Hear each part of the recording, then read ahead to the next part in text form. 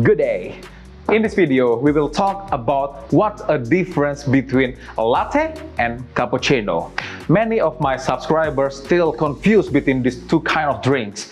What's the difference? They look almost the same, but they're not. And their taste different. For the sake of simplification, latte is milkier coffee milk drink and cappuccino is stronger coffee milk drink.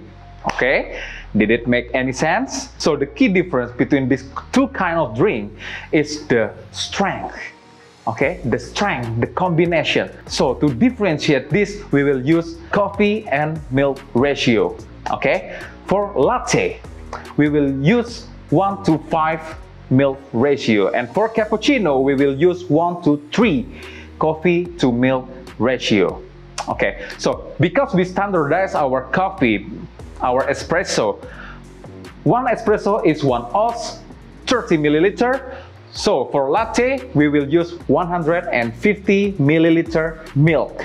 Alright, and for cappuccino, because 30 times 3 is 90, because this recipe is not set in stone, we will use 100 milliliter milk. For the sake of easiness, it's easier to steam 100 ml. And the second key difference is the texture. We want our latte have a silky smooth frothed milk. But in cappuccino, we want our milk is more frothier. So the steaming process and the steaming techniques is kinda different. But bear in mind, this is not set in stone.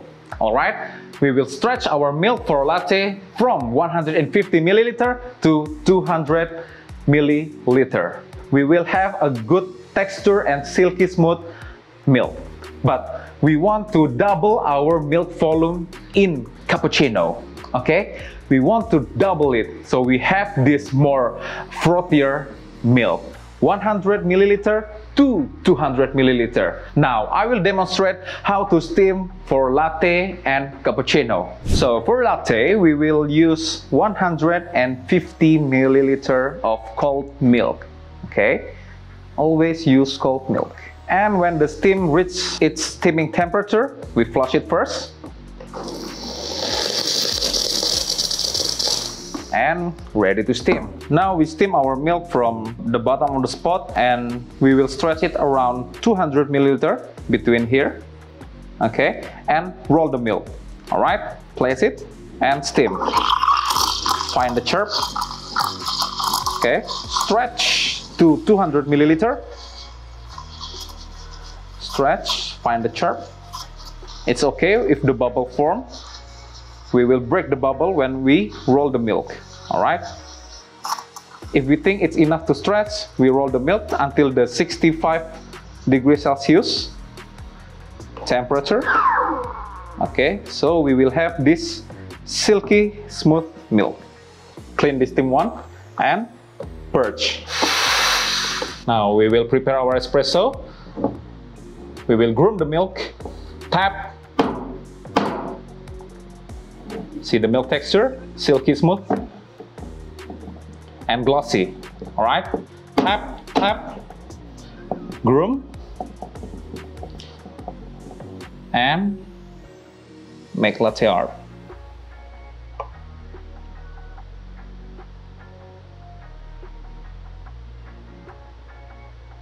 Okay, this is latte. And now we will make cappuccino. One 100 milliliter of milk. So it's very little. So we have to use 100 milliliter milk, okay? It is a bit harder to steam cappuccino in this machine because the steam wand is short, okay? So we will use 100 milliliter instead of 90 milliliter of milk, okay? As usual, purge. And we will double our milk volume. Stretch until double and roll, all right? Stretch first, stretch, find the chirp. Get slowly moving your milk jug down until the volume is doubling. Alright, we don't want to make any large bubble here. Very, very gently, okay? Okay, when we double our milk, we roll until it's silky smooth. Okay, and reach the temperature, we stop. Now we integrate the bubble to the milk. We want this kind of texture. See? It's kind of viscous for cappuccino. And we will make a monk's head, okay? Integrate the milk first.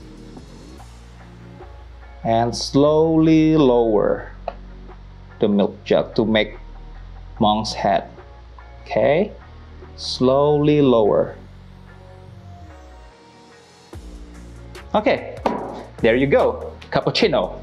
So as you see here, between cappuccino and latte have a very distinct texture. We want our cappuccino more smooth, more frothier milk, like right here.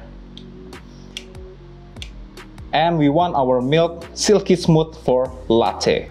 So we could make latte art, like right here. See?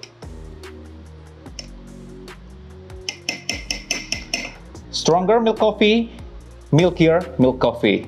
Cappuccino, latte. There you go. That's the key difference between latte and cappuccino. If you have any question, drop your comment below. And I hope you like my videos. Don't forget to like and subscribe for YouTube algorithm. Enjoy your coffee today and have fun.